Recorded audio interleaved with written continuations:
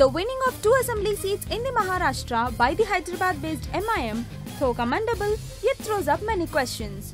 MIM had bagged Aurangabad Central and Byculla seats on its debut outside the state. The party hitherto was confined to old city of Hyderabad and rode on to win with the backing of predominant minority votes. In fact, it had failed in all its attempts to expand its base other than Hyderabad either during Eastwhile United Andhra Pradesh or later in the newly formed Telangana state. That being a fact, how come the party could open its accounts in neighboring Maharashtra state as debutant? Interestingly, the only common factor that glaringly visible of the BJP and MIM is over their claims. While the MIM boasts of being the sole custodian of the minority Muslims, then BJP of Hindus with its Hindutva card. In that backdrop, one chose to ponder is Indian electorate getting polarized on religion basis of late more aggressively?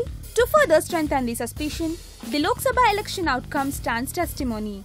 During the fight in general elections, entire opposition ganged up claiming propriety over secularism to isolate Narendra Modi and his BJP party.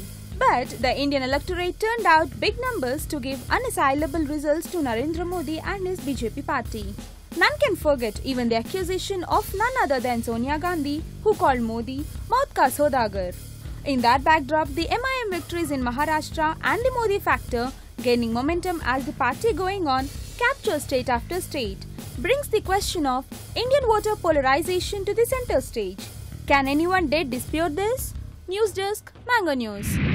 मेरी जिंदगी में ये अवसर आए आप कल्पना कर सकते हैं कितना बड़ा इसका इम्पैक्ट हो सकता है?